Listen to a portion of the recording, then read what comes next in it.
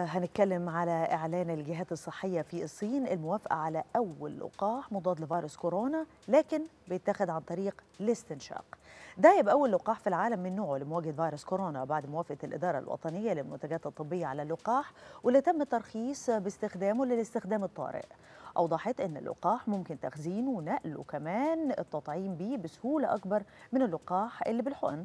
وده لأنه بيستخدم من خلال البخاخات وده معناه إن الصين سبقت كتير من دول العالم مع استمرار العلماء في بلاد زي كوبا وكندا والولايات المتحدة بتجربة لقاحات كورونا القابلة للاستنشاق.